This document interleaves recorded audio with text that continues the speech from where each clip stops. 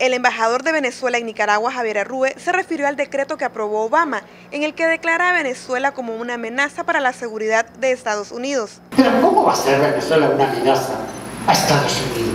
¿Pero a quién se le ocurre? ¿pero dónde está esa amenaza? Pedro Caribe, esa es una amenaza. ¿Por qué?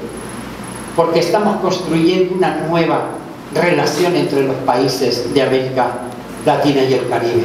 Es una relación que se basa no en a ver quién tiene más para ver cómo saqueamos al que tiene menos.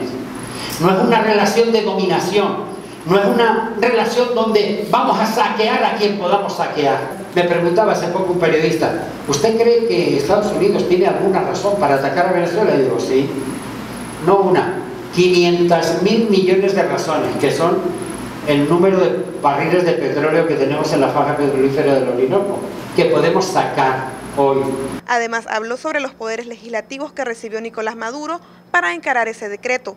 Esta ley habilitante, aprobada por el Congreso, o sea, por nuestra Asamblea Nacional, le faculta al presidente a gobernar con decretos con fuerza de ley.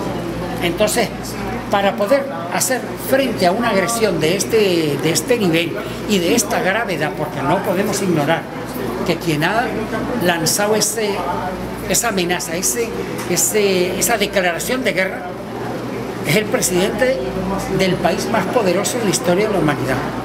Entonces, en toda confrontación, en toda emergencia, y de eso Nicaragua sabe mucho por las desgracias que ha tenido a, nivel de terremotos, de huracanes, etc., se necesita un solo y único mando que permita tomar las medidas de forma inmediata que favorezcan a la seguridad del país.